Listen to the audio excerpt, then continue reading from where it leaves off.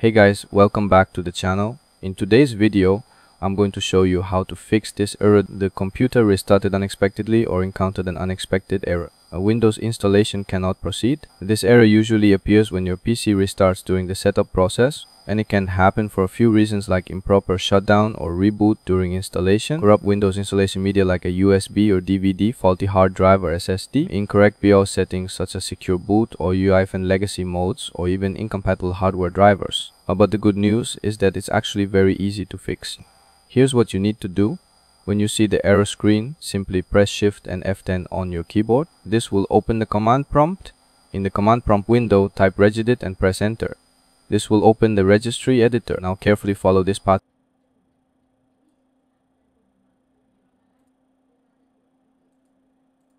Click on the plus icon to expand it.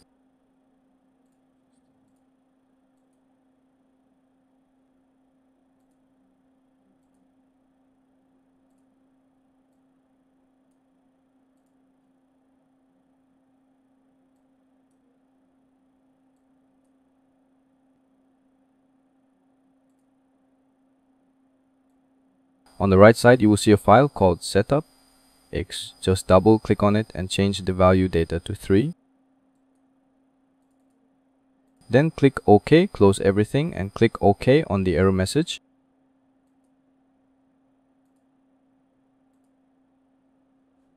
Your PC will now restart and the Windows setup should continue normally. You will see messages like starting Windows. Setup is preparing your computer and preparing to configure Windows. Do not turn off your computer. That's a good sign. Just wait and let the process complete. Once it's done, your Windows installation should be successful and your PC will start without any issues.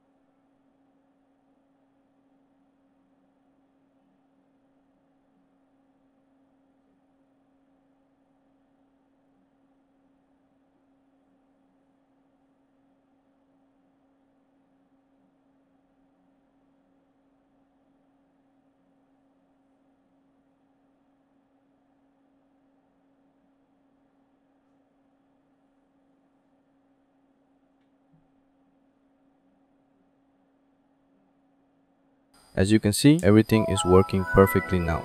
And that's how we fixed the computer restarted unexpectedly error during Windows installation. If this video helped you, and don't forget to like, subscribe and comment if you have any questions.